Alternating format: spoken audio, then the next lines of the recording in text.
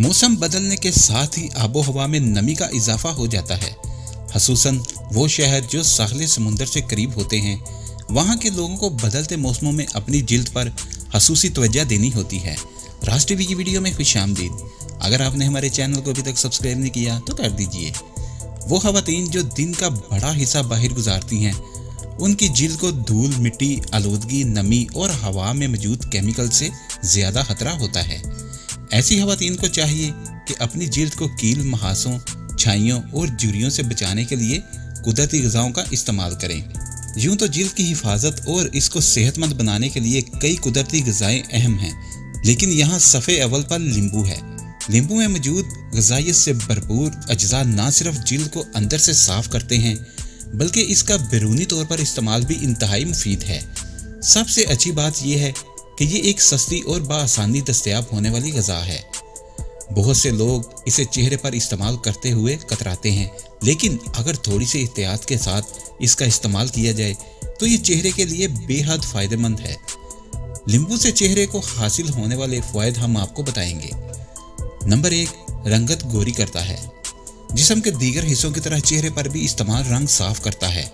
नींबू में मौजूद स्ट्रिक एसिड रंगत को दिन ब दिन निखारता है। नींबू का एक स्लाइस काट कर चेहरे पर या इस हिस्से पर हल्के हल्के मले जहाँ रंगत काली पड़ रही हो। पंद्रह मिनट बाद मुँह ठंडे पानी से धो ले। हर एक दिन छोड़कर ये अमल दोहराएँ। अगर चेहरे पर कोई चोट हो तो वहाँ नींबू ना लगाएँ।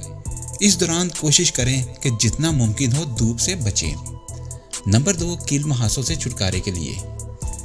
नींबू में मौजूद कुदरती एंटीबैक्टीरियल खसूसियात उसे कील महासों से लड़ने के काबिल बनाती हैं। एक नींबू को बीच में से काट कर पानी बहाएँ, फिर उसे रुई पर निचोड़ें और चेहरे पर लगा लें। इससे न सिर्फ़ दाने खुश्क हो जाएँगे, बल्कि इससे जिल्द में मौजूद बैक्टीरियाज भी मर जाएँगे। नंबर तीन, ये एक कुदरती एक्सफोलेट है। नींबू के इस्तेमाल से जिल्द नरमो मुलायम हो जाती है।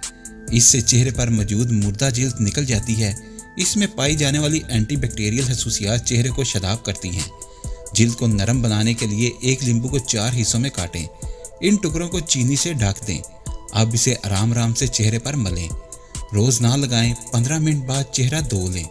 आप नींबू का जूस, पानी और चीनी हम वज़न मिलाकर चेहरे पर लगा सकती हैं। नंबर चार, मॉइस्चराइज़र। जैतून का तेल, नींबू का जूस, शहद हम वज़न मिलाकर चेहरे पर लगाएँ खसूसन खुश्क जगहों पर। कुछ देर बाद चेहरा धो लें। इससे चेहरे की जिल्द चमकदार और मॉइस्चराइजर हो जाएगी। नंबर पाँच ब्लैक हेड्स दूर करता है।